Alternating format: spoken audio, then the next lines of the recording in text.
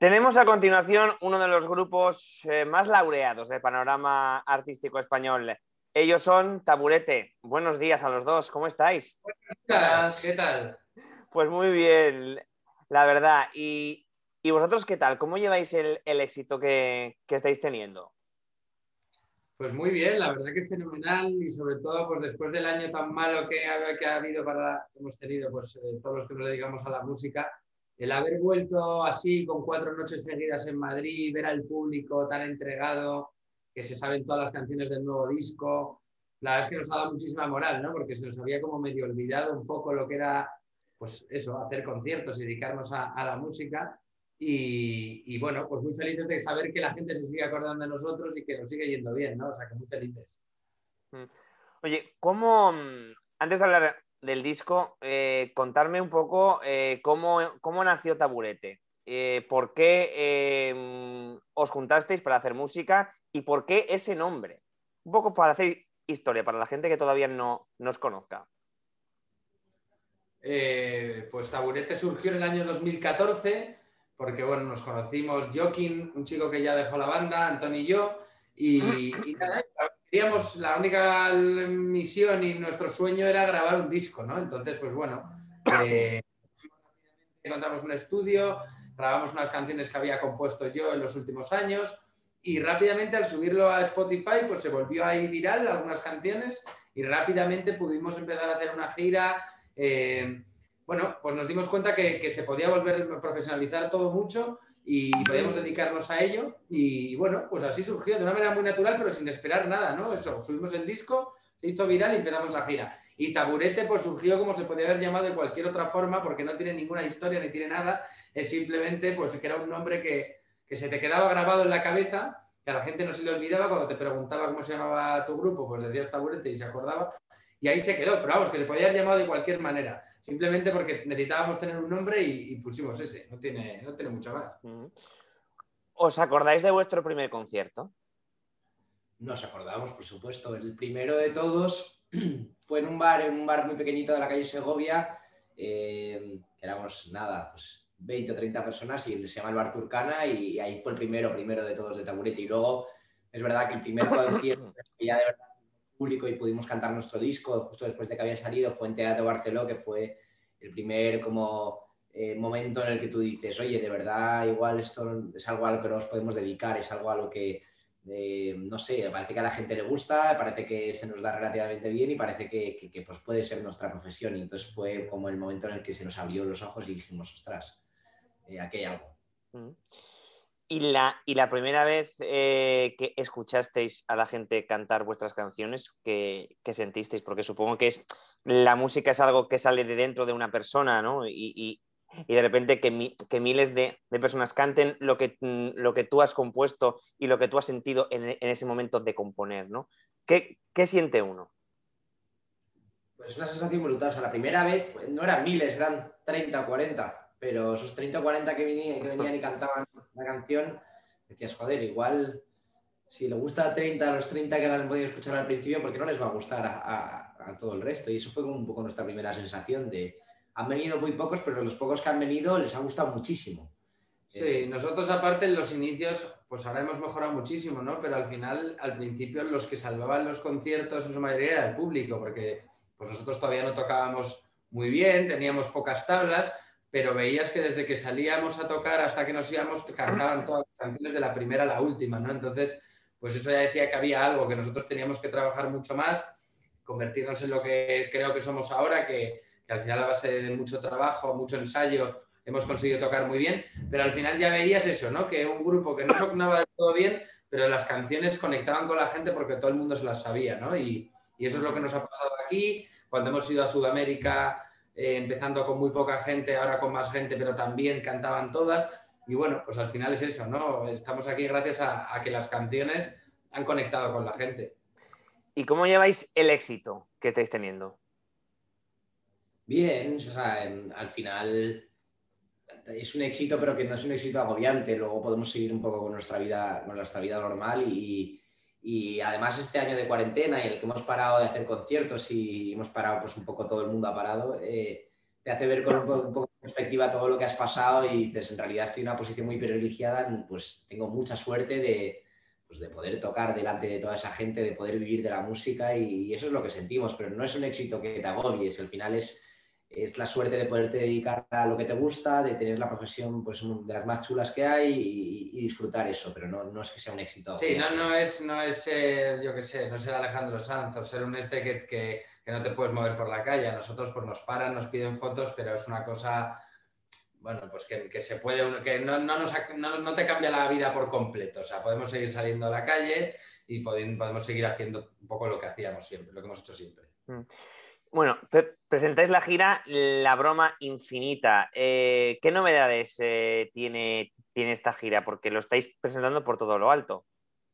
Sí, bueno, la, novedad principal es que es en teatros, por, debido a las restricciones y a todo lo que tenemos, a todo lo que hay, o sea, hay en el COVID ahora, al COVID, ¿no? Y, bueno, pues es diferente, ¿no? Porque al final nosotros también íbamos con la idea, bueno, pues hacer un concierto quizá un poco más tranquilo, eh, pero la gente, ¿no? La gente se ha portado fenomenal estos días, está en su sitio, la mascarilla, todo, pero con muchas ganas de fiesta desde su, desde su butaca, ¿no?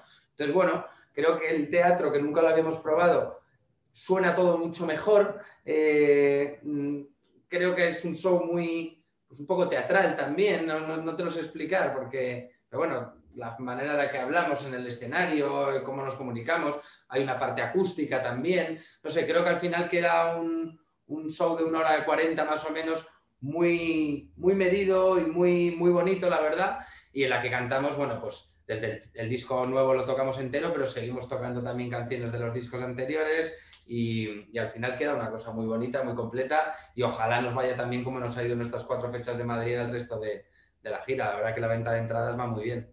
Mm. Bueno, eh, sí que vais a girar por toda España, o por lo menos la idea eh, es esa que se llenen todos los, teatros de toda España eh, viendo, ¿verdad? Sí, o sea, tenemos ahora mismo planteados como 20 conciertos más o menos. Bueno, acabamos de dar cuatro la semana pasada en Madrid. Estaba todo lleno y pues ahora vamos a Barcelona, iremos a Valencia y así seguiremos por toda España. Y parece que va muy bien, parece que se está llenando todo. A ver si las restricciones nos dejan hacer todos los conciertos porque es posible que alguno, pues, pues si hay algún rebrote fuerte en algún lado, pues nos, nos lo cierren, pero, pero, pero tocamos madera y esperemos que no y con muchas ganas de, pues de, empezar a tocar y de hacer lo que, lo, que, lo que es nuestra vida, que es cada fin de semana montarte la furgoneta, los ocho amigos y, salir a tocar tus canciones. Entonces, pues con ganas y, esperando a que llegue eso ya, que la semana pasada tuvimos el primer aperitivo, pero parece que, va para adelante. Mm. Hablando de bromas, eh, contarme qué broma eh, habéis gastado o os han gastado que ha sido pues un poco de... Mm, broma de, reírte y no parar o el peor momento de, la broma, contarme un poco alguna broma que tengáis en, en, la cabeza.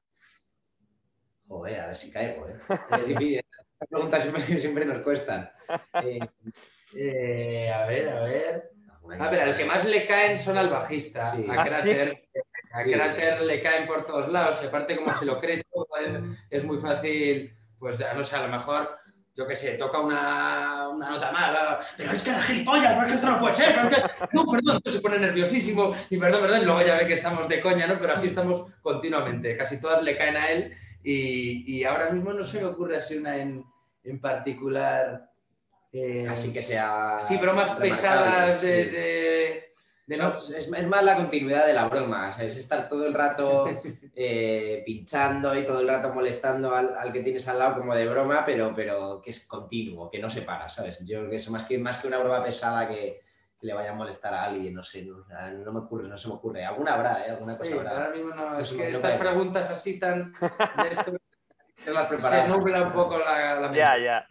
Bueno, ya que os veo ahí con la guitarra y demás, mm, ¿me podéis tocar algo de lo que van a poder escuchar eh, todas las personas que se acerquen a veros?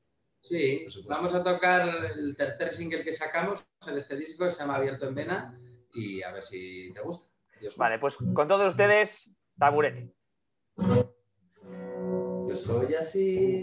Un, dos. Yo soy así, brindo y no encuentro respuesta. No quiero volver, estoy aquí.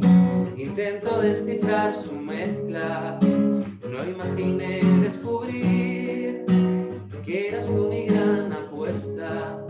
No quiero moverme de aquí.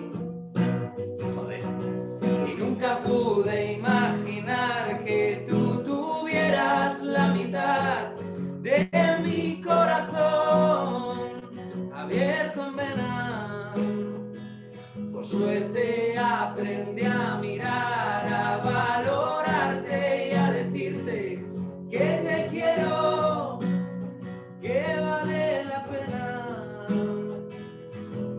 De veras, lo siento por darte tanta guerra. Y al despertar, ya te has ido.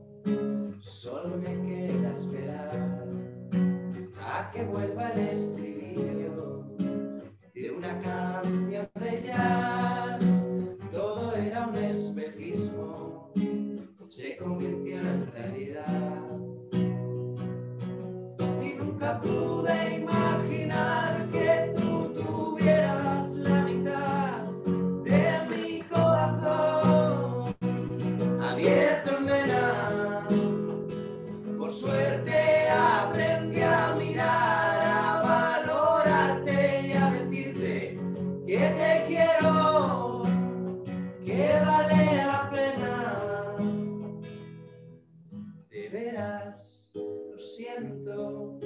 por darte tanta guerra. Ole. ¡Bravo! ¡Bravo! Bueno. Gracias de verdad por esta canción, pero antes de finalizar, dos, dos preguntas rápidas. La primera, el estilo que vamos a encontrar en este, en este nuevo disco, ¿cuál, ¿cuál va a ser? ¿Seguís la misma, la misma estela que los, que los anteriores, no? Mm, Bueno, es, el disco más variado de todos posiblemente porque te pasa de, un rock, pop rock, a un rock más duro, a un vals, a un bolero, a una balada, eh, a, un, par de canciones que recuerdan a los, primeros discos también. Yo creo que es el disco más variado de todo Taburete. Nunca nos hemos encasillado mucho con un estilo, pero en este caso yo creo que es el que más, el más diferente entre todas las canciones, ¿no? Y bueno, al final es como un viaje eh, desde que empieza la primera canción, la, intro, a, a la canción que cierra Mamá. Y bueno, la verdad que es eso, un viaje que te lleva por diferentes estilos y por todo lo que hemos aprendido durante estos años de taburete, que lo queríamos reflejar en, en este disco, ¿no? Y, bueno, pues eso, yo, yo creo que a la gente le va a gustar mucho y esperemos que sea así. Se- seguro que sí. Eh, y para ya, la última pregunta. Eh, un deseo que, que tengáis, supongo que el deseo grande que, lo tiene todo el mundo es que se acabe ya, ya todo esto y volvamos eh, a la normalidad lo antes posible o a, la- o a, o a la pseudo normalidad más o menos, pero profesionalmente hablando, un deseo que tengáis. Bueno, pues eh, nosotros desde el principio hemos empezado a trabajar mucho siempre en Sudamérica y es como nuestra idea es que se emule, que pase un poco lo mismo que pasa en España, pues que pasa ahí en Sudamérica, que, pues que crezca el, el público de Taburete ahí, que podamos pues eh, también ir a tocar mucho más de lo que hacemos y crecer en Sudamérica sería como el objetivo que tenemos, mantener un poco lo que pasa aquí en España y, y para Sudamérica y que funcione más. Eh, ganar un Grammy también. Ganar un Grammy nos haría ilusión. El año pasado estuvimos nominados con el anterior disco y pudimos estar allí en Las Vegas. Y, y bueno, pues la verdad es que es la típica cosa que nunca se le da mucha importancia a los premios, pero la realidad es que sí que haría mucha ilusión, ¿no? Eh, poder por lo menos repetir nominación y volver allí a pegarnos Las Vegas. Y si podemos ganar, pues bueno, muchísimo mejor. Pues muchísimas gracias, os deseamos todo lo mejor y os mandamos un abrazo fuerte. Gracias, Taburete. Igualmente, un abrazo.